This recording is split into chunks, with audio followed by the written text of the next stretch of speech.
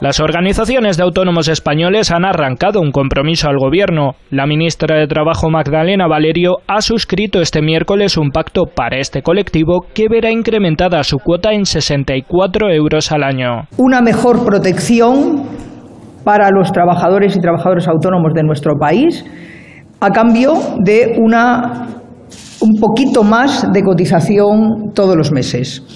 Eh, concretamente, la subida de la base de cotización será del 1,25%. Entre las nuevas medidas que implementará el Ejecutivo Central es que el derecho a paro de los autónomos se extenderá de 12 a 24 meses a partir de enero de 2019 es un paso importante que los autónomos puedan tener un verdadero derecho a paro y lo más asimilado posible a la prestación por desempleo. Con matices desde el punto de vista que habrá que definir, porque hasta aquí 140 millones de recaudación y 16 solamente han ido a desempleo. Además, todos ellos podrán cobrar desde el próximo año la prestación por accidente de trabajo o enfermedad profesional desde el primer día de baja. Felicitar a todos los autónomos, a los 3.254.000 trabajadores y trabajadoras de este país, porque hoy definitivamente se rompe la brecha que existía en materia de protección social entre unos y otros. Y ya le hemos dicho al Gobierno que vamos a estar vigilantes de que de verdad se cumpla